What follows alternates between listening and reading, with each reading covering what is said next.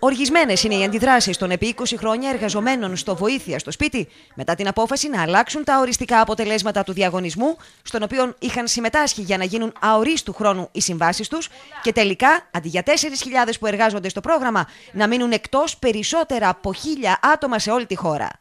1.100 εργαζόμενοι είναι στο δρόμο. Και όχι μόνο αυτό, ο, ζητάμε απεγνωσμένα ένα ραντεβού από τον Υπουργό Εσωτερικών, ο οποίος δεν μπορεί να μας δεχτεί αυτή τη στιγμή, γιατί θέλει πρώτα να δει πώς θα διαχειριστεί το θέμα. Φυσικά και ετοιμάζουμε κινητοποιήσεις.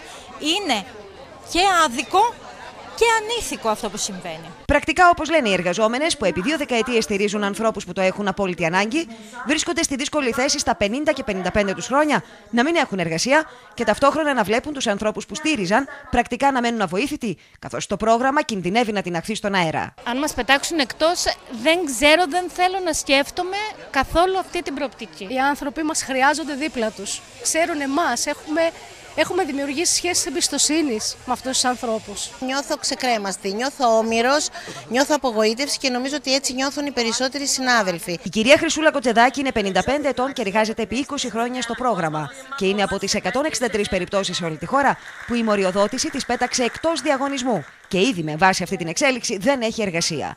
Λυπάμαι για τις θυσίες που τόσα χρόνια έκανα και όχι δεν αναγνωρίστηκαν από την πολιτεία, αλλά οδήγησαν στην τιμωρία μου, εξήγησε η 55χρονη, η οποία πρακτικά, όπως λέει, είναι κάτι περισσότερο από σαφές ότι δεν θα μπορέσει να βρει ξανά σε αυτή την ηλικία άλλη εργασία. Απογοήτευση.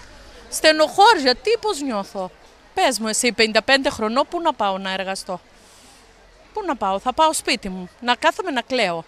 Να πάρω σύνταξη μετά ως καταθλιπτικιά να μου δώσουν μετά. Να είμαι άρρωστη μετά. Στο εργατικό κέντρο του Ηρακλείου σήμερα, όπου υπήρξε συνεδρίαση για το θέμα, παρουσία και βουλευτών, επισημάνθηκε ότι αυτή η κατάσταση δεν θα επιτρέψουν να δημιουργήσει νέα στρατιά ανέργων, συμπληρώνοντας ότι όλες οι εργαζόμενες είναι αποφασισμένες να βγουν στο δρόμο και να διεκδικήσουν με όποιο τρόπο μπορούν όσα δικαιούνται και όσα επί χρόνια έχουν προσφέρει. Δεν θα επιτρέψουμε σε καμία κυβέρνηση, σε κανένα Μητσοτάκη, σε κανένα Βορύδη αυτούς τους ανθρώπους να τους πετάξει στον δρόμο. Αυτή η πολιτική βούληση δεν υπάρχει στην κυβέρνηση, γι' αυτό ακριβώς ε, είναι που βιώνουν με τα διάφορα προβλήματα οι εργαζόμενοι του προγράμματος. Η λύση είναι πολιτική, με νομοθετική ρύθμιση μπορεί να υπάρξει αποτέλεσμα.